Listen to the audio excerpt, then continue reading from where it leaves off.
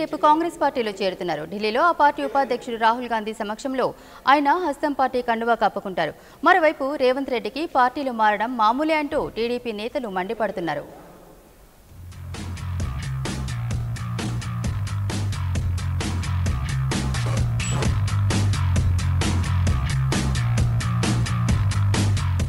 తెలుగుదేశం పార్టీకి రాజీనామా చేసిన రేవంత్ రెడ్డి రేపు కాంగ్రెస్ పార్టీలో చేరుతున్నారు.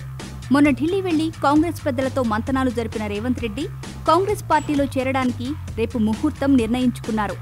ఇప్పటికే కాంగ్రెస్ పార్టీలో చేరికపై ఆత్మీయులతో ఈ విషయంపై క్లారిటీ తీసుకున్నారు రేవంత్. జూబ్లీ హిల్స్లోని తన ఇంట్లో ఆత్మీయ సమావేశం నిర్వహించిన రేవంత్ తెలంగాణ సీఎం కేసీఆర్ మీద తీవ్రమైన ఆరోపణలు చేస్తూనే మరోవైపు ఆంధ్రప్రదేశ్ ముఖ్యమంత్రి చంద్రబాబు నాయుడిని పోగుడేశారు. ఇక ఈ సమావేశంలో తెలంగాణ కాంగ్రెస్ అధ్యక్షుడు ఉత్తమ్ కుమార్ రెడ్డిని అన్నా అంటూ ఆత్మీయంగా పలుకరించారు రేవంత్ రెడ్డి.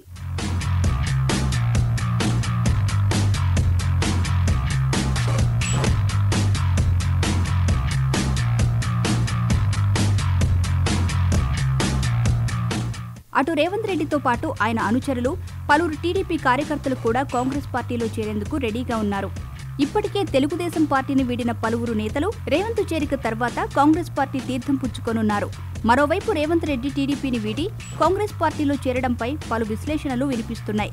తెలంగాణలో టీడీపీ టీఆర్ఎస్ పార్టీల మధ్య కొంతకాలంగా సాన్నిహిత్యం పెరుగుతోందని రేవంత్ భావిస్తున్నారని అందుకే ఆయన పార్టీని వీడారని తెలుస్తోంది. అంతేకాదు రేవంత్ రెడ్డి వంటి డైనమిక్ లీడర్ కాంగ్రెస్ పార్టీకి అవసరమని కాంగ్రెస్ పార్టీ సీనియర్ నేత జైపాల్ రెడ్డి భావించారని ఆయన చొరవతోనే రేవంత్ కాంగ్రెస్ పార్టీలో చేరుతున్నట్లు కూడా మరో వాదన వినిపిస్తోంది.